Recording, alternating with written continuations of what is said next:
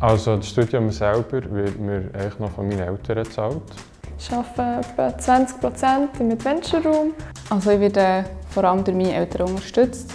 Ähm, bei mir ist es so, äh, dass eigentlich meine Eltern mir das Studium finanzieren. Genau, halt die Studiengebühren, die im Semester anfallen, die zahlen sie mir. Äh, aktuell noch mit Geld, das ich habe im letzten Zwischenjahr verdient im Zivildienst. Äh, mit meinem Kollegen wir Bier brauen und machen das so ein bisschen als Business. Also halt viel so Polterabende oder so ein Geburtstagsfest oder einfach sonst ähm, Grüppli halt einführen, einsperren, beobachten. Und ich arbeite noch nebenbei bei Kerenester so Sitzwachen. Ich schaue auf Patienten, die eher älter sind und ich schaue, dass sie nicht aufstehen oder dass sie nicht Kabel oder so rausziehen. Ich arbeite im Fußballstadion an der Kasse. Ja, es gefällt mir mega noch so ein bisschen, neben dem Studium noch einen Einblick in die Arbeitswelt zu haben und dann gebe ich noch in einem Kind Nachhilfe, genau in Mathe und Deutsch. Äh, Wurst und Bier verkaufen an den IBE-Match.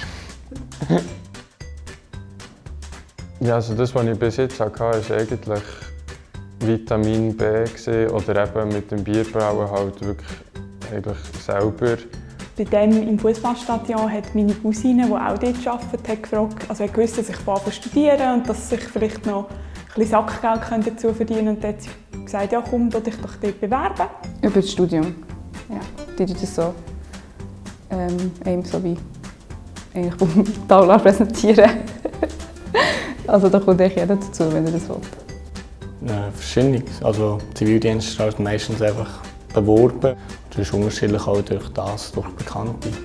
Also ich habe auch auf der Sub-Webseite ähm, geschaut, von dort habe ich auch schon Sachen gefunden. Aber jetzt die, die ich jetzt habe, sind ich mehr durch äh, Kollegen entstanden, also wie weitergeleitet worden, genau im Freundschaftskreis.